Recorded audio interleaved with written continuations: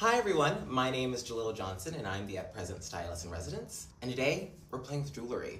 I put together a few looks and I'm going to show you how I would style each look with a beautiful array of jewelry. And I'm really excited to share it with you. So when we're thinking of the fall, I think the first thing that we think about are coats. September isn't as cold, all you need is just like a coat and jeans and you're good to go.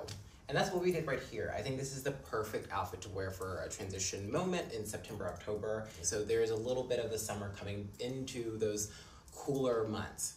And so on the ears, I mean, we have the full C.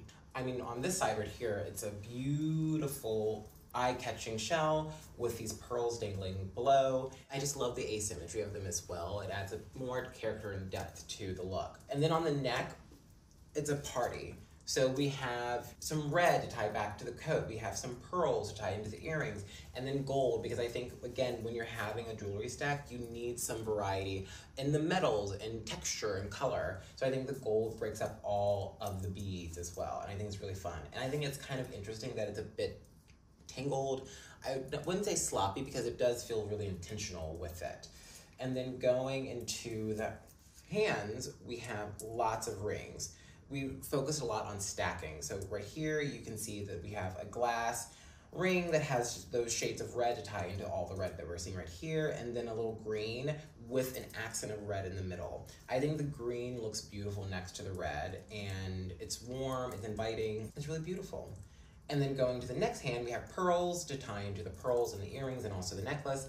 And then right here, believe it or not, this is a stack of one, two, three, four rings look at just what you can create with a stack of four rings that it creates its own piece, its own structure.